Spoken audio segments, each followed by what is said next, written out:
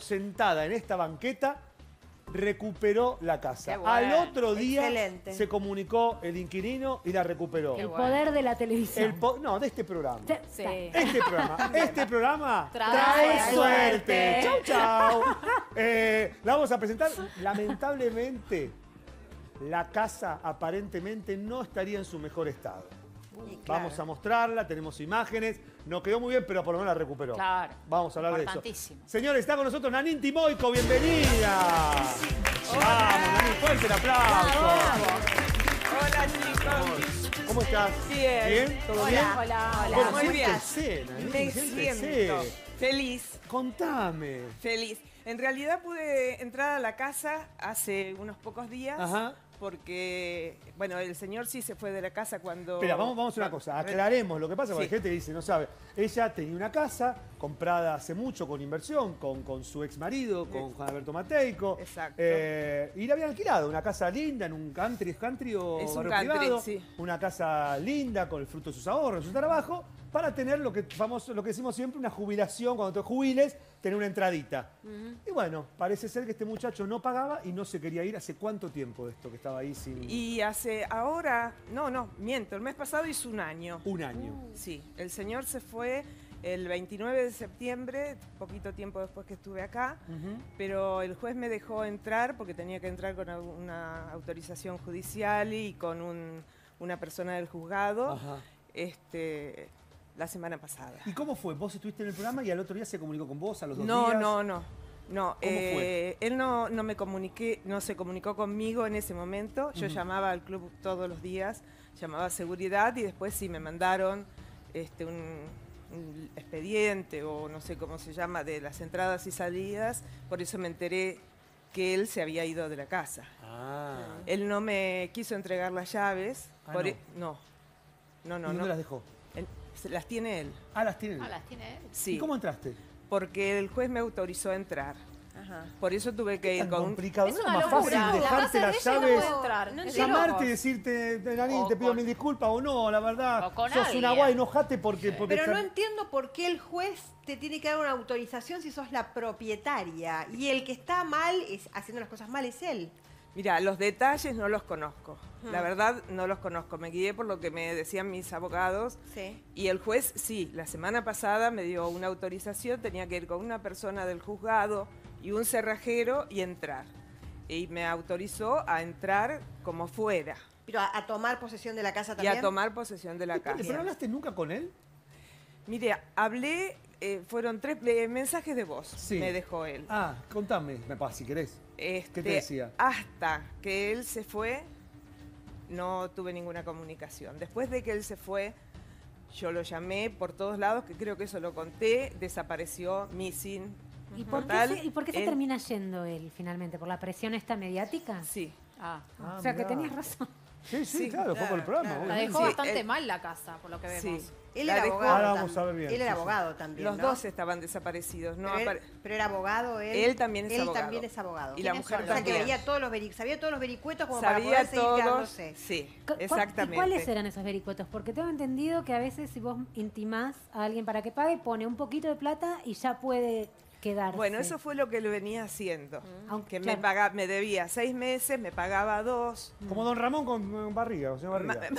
Claro, y, eso- y- Hacían lo mismo. y ahí arranca de vuelta todo. Claro, y ahí empezaba de vuelta. Yo en ese momento no me daba cuenta porque a mí se me venían acumulando gastos que tiene la casa. No te cuento cómo está Mateico con Arba y con todo lo demás. Ah, porque no pagó ni un impuesto, no pagó, no sé si tiene expensas el lugar, tiene expensas. Bueno, ah, sí, no tiene. pagó nunca. No, las expensas las pagó hasta el día que él consideró que se iba. Pero yo recién pude entrar a mi casa eh, dos días antes que fuera con ustedes. A Ahora. ver, ¿tenemos imágenes de cómo, quedaron la, Sí, cómo ahí. quedó la casa? ¿La podemos poner al principio? Está bien. A ver, John, ¿tenés un tape armado o Ah, ese tenés es en ahí el un...? quincho. Sí. Ahora él vivía en estas condiciones. Sí, El ¿no? último tiempo, indudablemente, sí. A ver, vamos a, vamos a Mirá. una cosa. ¿La vemos? Vemos cómo quedó la casa. La recuperó después de un año donde tenía un inquilino que no Pero- pagaba absolutamente nada, no se hacía cargo, no aparecía. Afortunadamente, gracias a este programa que estuvo en Anim, a los pocos días pudo recuperarla y lamentablemente así quedó la casa.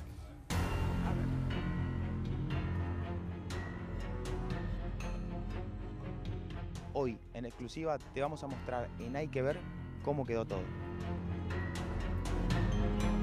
Es muy linda, lástima, lástima. No quiero borrar toda esta felicidad que tengo de haber podido entrar, pero bueno, tengo que hacer muchos arreglos. Este es el Come- living eh, comedor. Sí. Sí, bueno, ahí tenemos el mueble que está destruido por el agua. No, terrible, ese mueble no sé, no creo que se pueda reparar. Si vos ves, más que un desastre. Mirá el techo cómo está. Sí, sí, está a punto de caerse. Tengo que venir esta semana urgente con un plomero y gente de calefacción y todo eso a arreglar porque esto en cualquier momento se cae y estoy aterrorizada porque además la mesa que está abajo prácticamente no se puede mover porque es una mesa de, de- de cristal muy pesado. Eso no es una alacena. Eso es un pequeño lavadero. Yo tenía uno atrás y uno acá con un lavarropas. El lavarropas missing, No está. no está. Bueno, acá tenemos. Mirá lo que es esta baranda. Esto. Pero, pero alguien, o sea, tenés que romperlo con intención para que se rompa o, o- descuidarlo demasiado. Mirá esto. Esto era una muy linda habitación de servicio con su correspondiente baño y se transformó en esto. Mirá, el- y, y tenías razón, ¿eh? El otro pedazo de la cama con los pedacitos de bronce que ya vamos a mostrar que no los tiene. En la otra cama se llevaron esto. Que No también- estaba así deteriorado No, ni roto. No, no, no, no, eso estaba bien. Mira esto. Mirá esta puerta. Es tremendo. Sí, eh, no es la, la humedad única. fue lo que invadió a la casa, me parece, y no se hizo nada, ¿no? Sí, la humedad, el tiempo, la desidia, descuido. Más que nada el descuido, me parece, porque para que la puerta termine así, es como. Sí, sí, sí. Mira. Foto de la familia.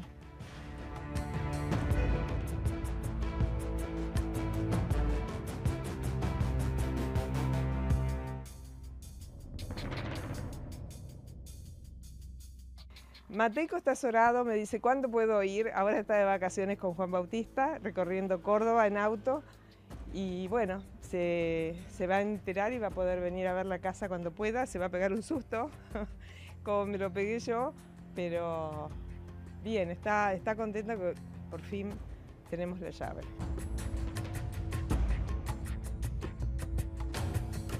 Qué desastre, Dani. No, no, y hay muchas cosas que no se vieron. Este, tomamos que no se sabía bien qué era, pero bueno, la sala de, de máquinas, le decía yo, donde estaban las calderas y todo eso, eran todos esos caños que estaban rotos. Claro, no te debe funcionar agua caliente, no te No debe tengo, funcionar... no, no, no. nada, pero es, claro. digamos. Qué peligro, ¿no? Igual. Aparte es un peligro. Sí, tengo que hacer ya las, esta semana voy a ir con un plomero y obviamente una persona de electricidad porque el agua se metió por un caño de luz y explotó Claro, sí, todo. sí, no, y te, te- te arruina toda la instalación, claro. Pero salvando, digamos, esos arreglos que hay que hacer, que son unos cuantos, salvando esos arreglos, la casa, yo tengo una alegría de poder Claro, tenerla y además... Ahora, mira, ahora seguimos. Ahora- dale, ahora, seguimos, dale. pero te quiero preguntar si la Sí. volverías, no me contestes ahora, si la volverías a alquilar y si tenés un cálculo estimativo de lo que te puede salir a ahorrar todo eso. Ahora me lo contás. Bueno. Porque tenemos que ir a Carlos Paz, porque el móvil se vence, si no en 10 minutos tenemos que lo tenemos. pelea. tenemos- La, la única mona en Córdoba es la mona Jiménez, tenés razón. La mona Claro. Luisa debe estar. Yo no quiero saber si es de verdad, si hay una persona adentro, si es electrónica. Hay que el ir. chato no me dice nada. Hay que ir a malo, ver. Sabe. Sí. Es más malo que ya sabes quién. Pero bueno. Pero Escúchame, baila. lo que yo te quería preguntar. eh, ¿Alquilarías la casa de nuevo después de toda esta experiencia? ¿La vas a alquilar de nuevo? Mira, en un principio, si logro terminar todo y recauchutar todo lo que está mal, y me vendría bien, porque tengo muchos gastos que ¿Le pagar. hiciste un cálculo al gasto que tendrías, a la inversión que tendrías que Bueno, hacer? mira, eh, el inquilino que decía querer comprarme la casa, él me dijo que tenía más de 100 mil dólares de, de gastos. ¿Cómo? ¿100 mil dólares? Sí. Eh, yo fui con... Que hacer todo de nuevo. 4 millones No, de claro. pesos. Yo fui con otra persona que no, de ninguna manera es eso. Este, eso fue una de las diferencias que tuvimos con él en su Pero momento. aparte, si está así es porque la, la- él la hizo mierda. digo, sí, no yo la entregué en perfectas condiciones, estaba viviendo ahí. ¿Y no hay ningún un contrato? año, pero- Digo, porque cuando vos no hay un depósito, no hay una cuestión legal que puedas hacer, porque te la tienen que entregar como vos la... No, Bueno, pero ese, esos ese era son el los problema que tenías, que no claro. tenías contrato de No tenía alquiler. contrato. No, tenía un contrato Vencido. Sí. Claro, ella no lo renovó. No, no, no lo renové. Bueno, ese era el problema, pero Por mientras eso no él lo podías desalojar. Exactamente. Pero además no lo podía desalojar porque no se lo podía notificar, porque no, da- no aceptaba las cédulas Claro. que le mandaba el juzgado. Entonces, después de esto, que ahora que pude entrar, es muy difícil, eh, yo voy a seguir el juicio, pero es muy difícil porque no tengo dirección a dónde notificarlo, porque supuestamente él no está en ninguno de los Bueno, domicilios pero vos que me dio. un documento de él, un número de documento del anterior contrato, todo Por eso tenés, se supuesto, rastrea, sí, es un sí, abogado, sí, te lo rastrea en dos sí, minutos. sí, Hay un sí. quit, una dirección, sí, sí. eso Sí, es- sí, bueno, estamos en eso, estamos en ese tema, pero digamos, lo más importante para mí fue recuperar la casa antes de que llegue el verano, este que estoy, la verdad, Obviamente cambiaste las cerraduras, él no puede cambié entrar las nunca tres, más. las tres cerraduras eran de alta seguridad, con lo cual fue Carísimo. Fueran carísimos. bravísimo y este, las dos, había dos cajas de seguridad que yo le había dejado las llaves porque la había vaciado y las dos cajas estaban ¿él estuvo llaves. solo un año ahí adentro? No, él estuvo tres- ocho años. Ocho años, claro, con Muchísimo. razón, porque ahí hay... Claro. No, hay desidia de mucho tiempo. claro. Sí, sí, sí, sí. Y estaría bueno Sí, sí. avisarle A, la, a la gente que no le alquile más a este señor. Bueno, en eso estoy conversando justamente con la gente del club. Ahora cambiaron, a raíz de todo esto que pasó, cambiaron las ordenanzas del club y los permisos para poder alquilar te piden todo, lo cual me parece Sí, pero él te bárbaro. lo- este muchacho te lo hubiese presentado todo lo que piden. Sí, el problema es que hubo, a ver, ética hubo una, una cuota de mala leche. Él las llaves las tenía, yo no tendría que haber este, llamado a un cerrajero para que me ponga todas las cerraduras de vuelta y voy a tener que hacer lo mismo con las cajas de seguridad. Son cerraduras que 6 mil pesos me salió cada una. Claro, no, es Son terrible. muy Ay, caras. ocho lucas de- Es terrible. Es un Y había cosas que eran tuyas adentro de la casa. Bueno, la contado. ¿Qué habitación que estaba eso? con llave la encontré abierta Ah. y estaba todo vaciado. O sea, Ay. había cajones que Con cosas personales de ustedes, como la foto que vimos Claro. recién. Eso estaba en el quincho, Ajá. sí, que él la sacó de la pared y llevó al Claro, quincho. pero tendría que haber como Pero una esa habitación negra. se llevó cosas que, era- Él que se eran llevó, tuyas. sí. Ah, no, Eh, yo mostré en un momento la cama, esa cama era de Rosita, Ajá. este, y tenía todos unos adornos de bronces, así bien de nena, una cama de dos plazas divina, que la habíamos traído de Miami. Y él la desarmó y a, una pa- a la parte, de- de- le sacó todas las partes de bronce. Yo digo, ¿Qué ¿qué, hizo? ¿Lo vendió el bronce? No sé, eso es lo que no Porque hay entiendo. maldad. Eso es maldad. Y no entregarme las llaves también, porque él no neces- ni siquiera necesitaba verme. Él las dejaba en el juzgado, y eso lo, lo sabe él mucho mejor que yo. Él las dejaba en el juzgado y yo podía entrar a mi casa. No, tuve que esperar tres meses más hasta poder entrar con una persona del juzgado. La verdad, es- eh, todos estos últimos meses fue de ir y venir a los abogados, a un papel, a otro papel. maldad, ¿eh? Parece un aguantadero más que Sí, una aparte no limpiaba por lo que se ve. Y No, también, terrible. eh, yo no sé en la relación que tenés con el- el- la gente del club, eh, del clubhouse, todo eso, pero digo, me parece que tienen que ser un poco responsables. Sí, Si vos, Y bueno. propietario, decís, che, no me está pagando hace un año, hagan algo o, o, o declárenlo Bueno, yo ciudad- creo de- que a de persona no grata o, Sí, digo, no lo dejen entrar a- a la- porque tenía canchas, de, de- ¿qué, qué tiene Él está- tiene canchas de polo, sí, de fútbol, de rugby. no, no dejen de- entrar, que no use los amenities, ¿viste? Porque si no... eh, Ahora no sé cómo quedó la situación. Lo que sí sé que bueno, que el hijo dejó de, de jugar el golf. Lo, ahí fueron, Ah, mis amigas me fueron dando, claro, me fueron dando pistas y él dejó de ir al No puedo creer que, una de- que pueda vivir ahí. Sí, No, claro. por eso No digo. puedo creer que vivía en ese estado Por eso él. digo, parece un Sí. No estaba sano. Sí, pero no, limpia- no limpiaba, mínimo. No limpiaba, Claro. era sucio, Exacto. ladrón, de todo. No, pero Estafador. este, ma- mala leche sobre todo. Sí. Eso fue lo que la a mí me- película, como te dije, El Inquilino. El. Inquilino. Bueno, dale, tal Michael cual. Keaton. La de Michael Keaton. Le excelente película. la. Excelente. Tal cual. Bueno, y de todas maneras, la, la persona que entró conmigo del juzgado, que re- revisó toda la casa, me dijo, la verdad, no le rompieron mucho. Ay, Le digo, ¿qué? ¿Hay peores? Me dice, sí, porque no dejan nada sano algunos inquilinos. Y yo digo, Dios mío, soy un- una crédula y... Agradecida. Sí, y Encima una... hay que agradecer, claro. Bueno, eh, de tanto estar Nanín con, con eh, eh, Juan Carlos Mate, con el emblema de la radiofonía argentina y la televisión, está haciendo radio ya también. Sí, yo Mirá, no podía toma, ser menos. Toma pa' vos, toma Ah, pa' vos. Sí, ¿En dónde? empecé en Radio Sónica, Ajá. estoy todos los miércoles a las 14 horas, empecé un programa que se llama modotango.ar. Ah, mirá. Obviamente hablas de tango, ¿no?